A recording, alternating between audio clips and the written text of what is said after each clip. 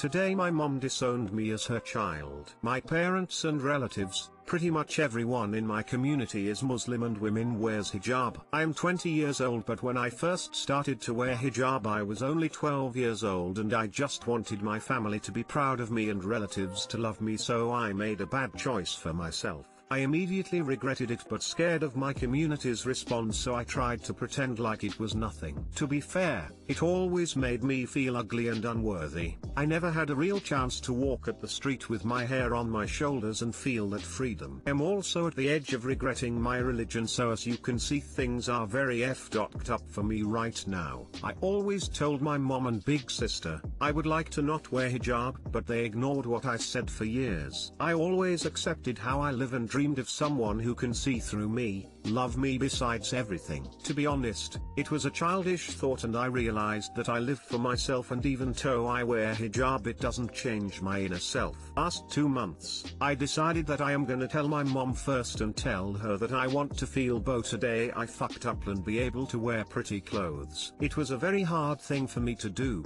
I lost 7 kilograms in 2 weeks for just preparing to say it. When I told her, she basically just manipulated me and said, you wanted to look bow today I fucked up for men at your college. It really broke my heart that I can't even express it within the words. I would be USL.T, as she says, if I wanted to, hijab wouldn't stop me. Two or three weeks passed and my mom literally ignored what I've said and pretend like it didn't even happen. Today I just told my sister and my mom heard it too. My sister didn't approve and told my problems isn't about hijab, taking it off will not change anything about my mental state. I also want to say, I hate IT when they speak like they know what I really think and feel. I hold myself for three weeks after that conversation with mom but I snapped at my sister today and told I will do it no matter what. Mom literally lost her mind and started yelling like a freak. She called me squint, asked God what was her sin to get such a bad daughter. Then she told me she will not make it happen. When I yelled her to leave my room, she yelled from the corridor and said,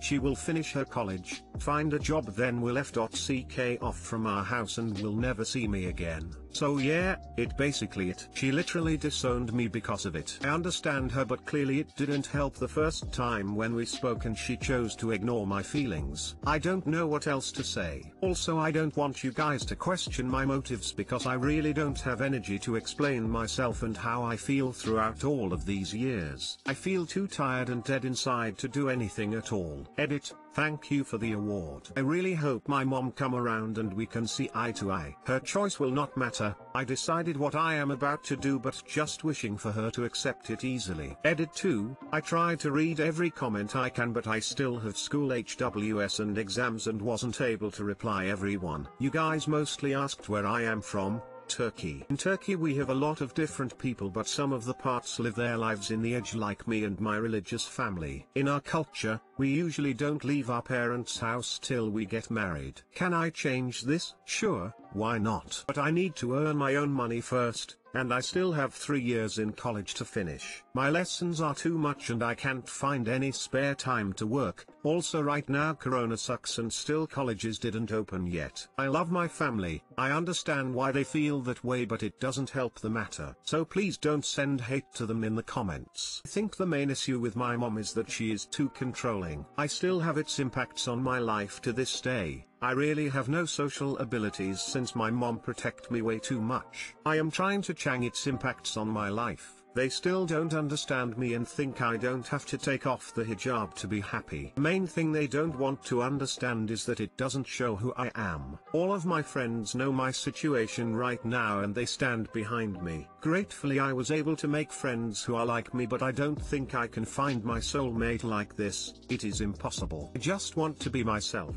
You comments helped me a lot and made me realize that I didn't do anything wrong. Thank you so much for your supports. There is tons of messages in my mailbox too and I can't show how grateful I am. Thank you so much. I hope I will get through this with the strength I got from bunch of kind strangers.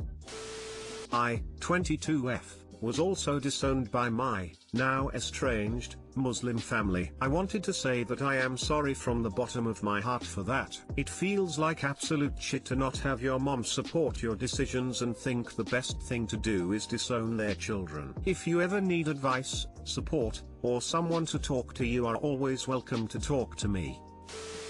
For what it's worth I think you're very brave to stand up for yourself and your values like that. I'm sorry your relatives can't see it that way. To this day I tried to kill myself at least three times. I thought this fight will make me suicidal again but it didn't. It feels good to stand up for yourself, like I still have a purpose.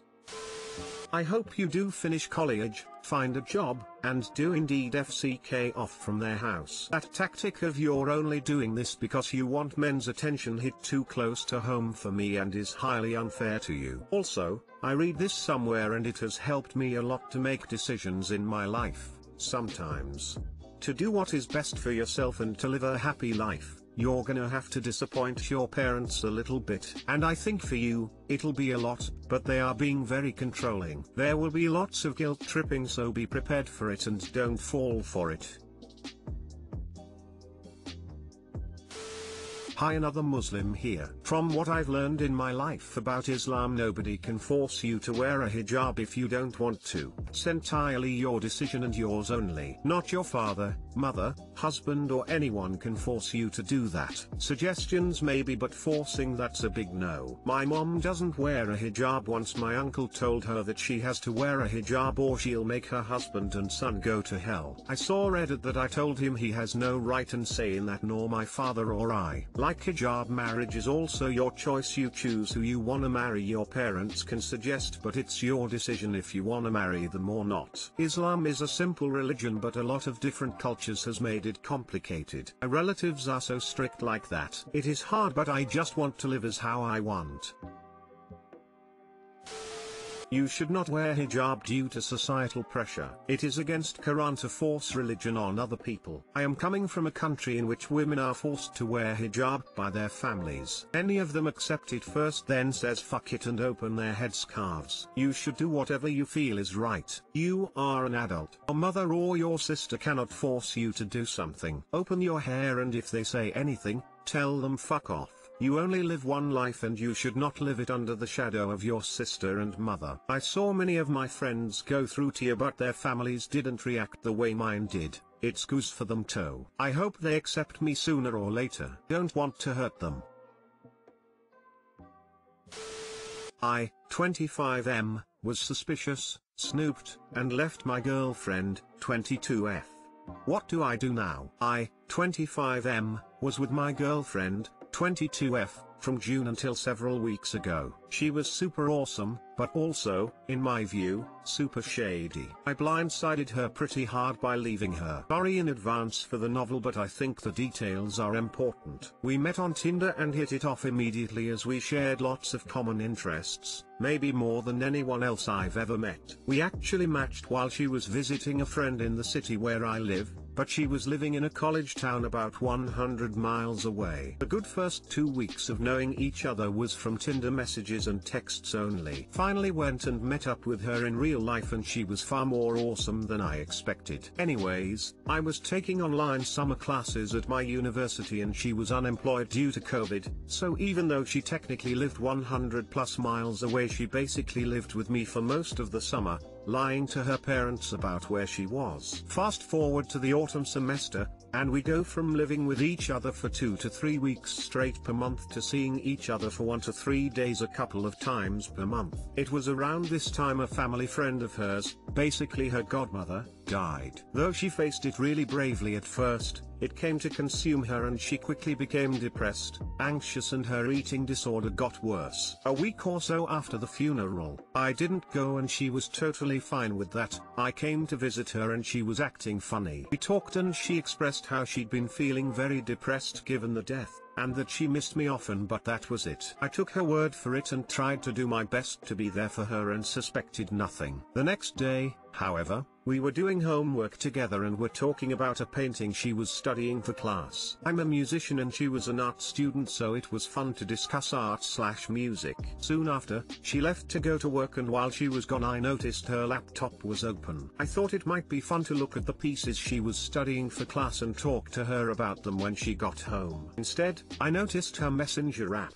the one for sending iMessages on your computer, sitting next to her notes. Front and center were texts to her friend about how she wished I wasn't there, how I wish he would just teleport away, and her friend asking her how's the breakup going, with my girlfriend replying not good. I was appalled. I knew coming to visit her that she hadn't been doing great, but even being there in person I had no inkling that she wanted to break up. She totally hid that from me. I did the wrong thing and with her computer open, I kept snooping. She'd expressed to the same friend as above once that she didn't love me the same way as she loved her ex. After coming with me to meet my parents, she excitedly texted her friend about how wealthy my parents are. I present fairly middle class myself as that's how I grew up but my parents do well for themselves now. I found texts to a guy friend several months into our relationship where my girlfriend described me as the boy I'm fucking and my friend. She sent pictures of herself to her guy friend that I took of her while omitting to send a single picture of me and her together. Meanwhile, this guy friend,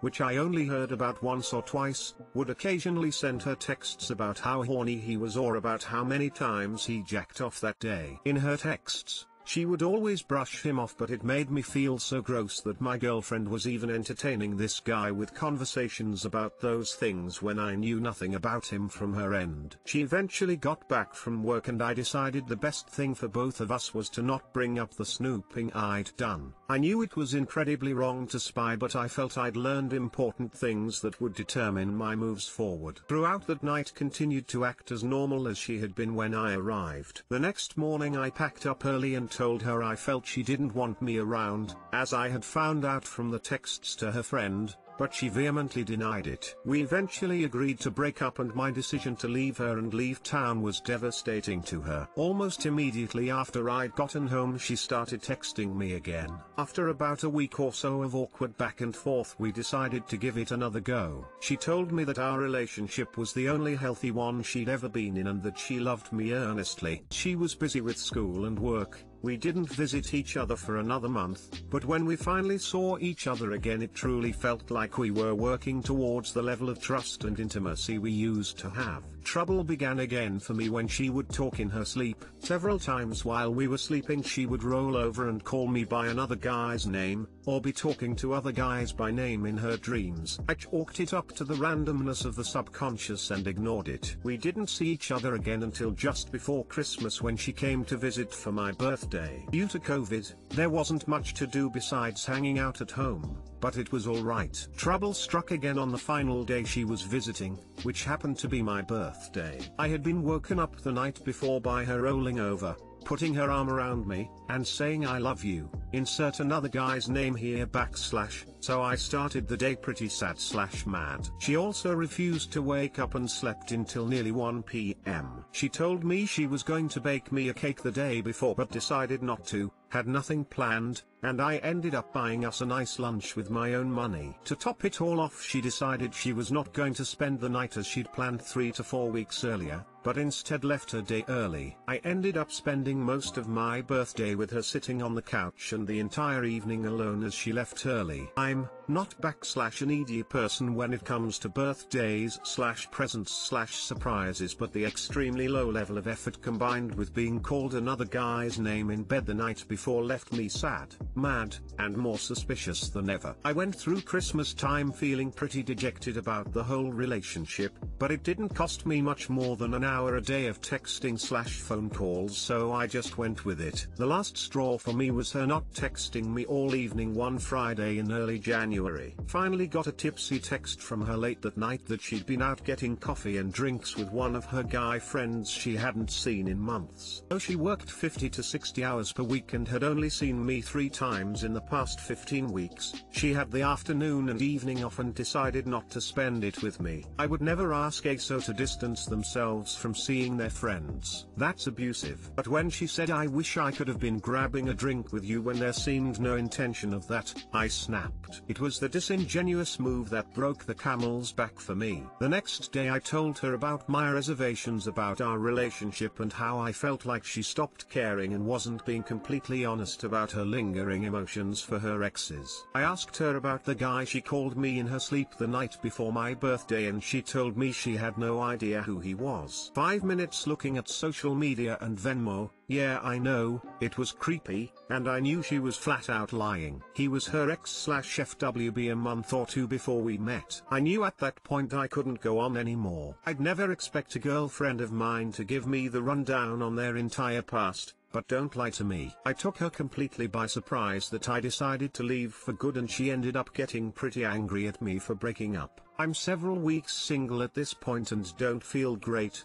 but I'm doing alright. Sucks cause this girl was incredibly perfect for me in a number of ways that are very important to me. On the other hand, a great deal of the problems I had with the relationship originated from my suspicion of her and snooping through social media, Venmo, and on her computer once several months ago. In the end, I think I did the right thing for myself but confronting the fact that my doubts seemed to be rooted in my own insecurity and inability to trust has had me wondering how to grow and move forward. My M29 colleague, F35ish, tried to recruit me and my GF F30 to a cult.